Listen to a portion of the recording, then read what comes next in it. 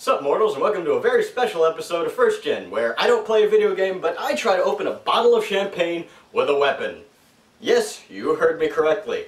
Now, first things first, other than getting yourself a nice bottle of champagne, don't try it at home. I'm just gonna put that right on the line, promise, right now. Do it. No, you too. You in the back, yes. Good. Now that you've promised not to do this, I'm gonna teach you how. First thing you do is you get a nice bottle of champagne. California will do. I would probably try to go for French, a little more expensive, but it's a little thicker glass. Next thing, safety. Point it away from yourself. Obviously, you don't want to be swinging a sword towards yourself because it's kind of awkward to do that, and I don't really necessarily want to advocate hara-kiri or however you pronounce it. Next thing you do is there is a seam line on the bottle. You got to find that so you know which way to orientate it. You take all of the foil off the top and you dunk the entire neck in ice. What's that, what that's going to do is it's going to cool down this, make it brittle. I'm not exactly sure if that's true or not, just something I read. Now, the most important thing, other than not doing this inside, is the weapon. Now, most of the time, this was actually made by the French when they were riding in their cavalry days, they just take the bottle out, take their saber, line it up, and knock the top right off. Obviously, I don't really have a saber. I do have a katana. Nice full tang katana, really nice weight, nice curve. Most people like katanas, but then I got to thinking, would Hephaestus, as in myself, actually use a katana to open a bottle of champagne? Hmm. Well, doing a little research in what I like, being a Viking and all, and being a smith god, at least named after one, I don't think I would use a katana to open a bottle of champagne. No, no. I would use a battle axe.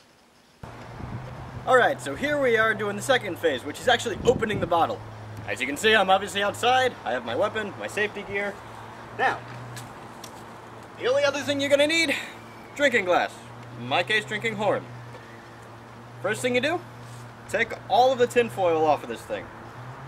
Whether it's actually tin or not, I have no idea. Just remove it.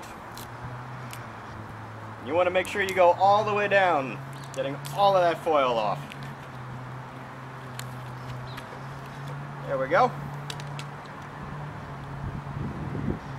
Foil off the top.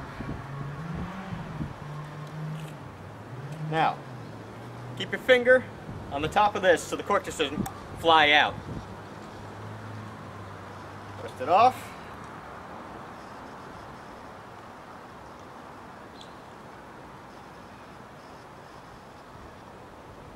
Come on. Alright. Put your hole in the punt. That's what it's called. Take this. Put it down like that. Make sure you swing through. You want to actually commit to this, all right?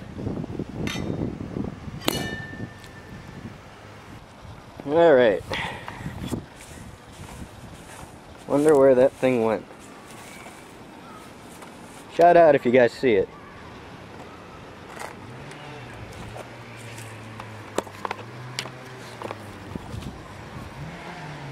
Shouldn't be too hard to find. Uh, no, aha! There you are.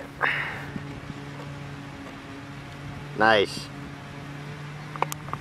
All right. I would say that was a success. It's a nice little clean cut. Cheers, and have a good one.